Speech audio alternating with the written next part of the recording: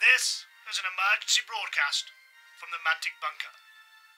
Containment protocols have been initiated. Hello.